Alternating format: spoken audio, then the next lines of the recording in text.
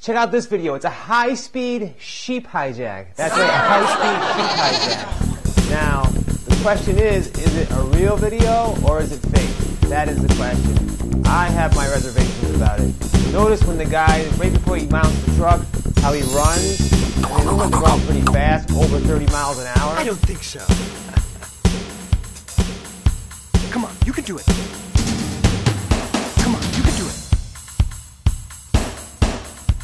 Nice work. Wow. Dinner is served. Mmm. this is delicious. When he drops the sheep into the sidecar on the motorcycle, that also looks a little fishy to me too. But nevertheless, still a pretty cool trick. Obviously, somewhere far away. I mean, we don't drive around with goats. There's a story going around about Disney World about Donald Duck. You know who Donald Duck is? Donald Duck supposedly groped this woman's breast and then made a joke about it. How? She's 27 dare years you. old. She's suing Disney World, which is fine if it happened, but she's suing for nightmares, which maybe that can be okay. But then she's suing for some other things which don't make any sense whatsoever.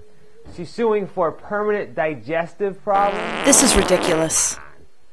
Also suing for other permanent injuries that she received simply by someone groping her breasts. I don't think so. Things that make you go, Mmm. Now I'm wondering what kind of breasts she has. Are they magic breasts? Is it bogus? Yeah, it is. Give me a break. Karma's a bitch. Now I want to have a tribute to the uh, homeless guy, to William the homeless guy. I with the amazing voice. So I'm going to uh, transform my voice. and uh, a little bit, a little bit better once. www. And then see, I get it going better and better. www. You listen to K943.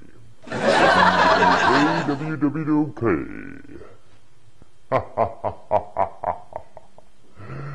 That's right, you listen to Easy Listen KWKWO.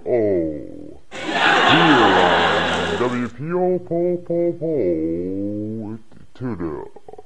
Yeah. Nah, all kidding aside, uh, I think it's great what happened to this guy. Uh, everyone deserves a second chance. Um, hopefully, he doesn't get a boss like mine who's a complete dick. Uh, but anyways, good luck, brother.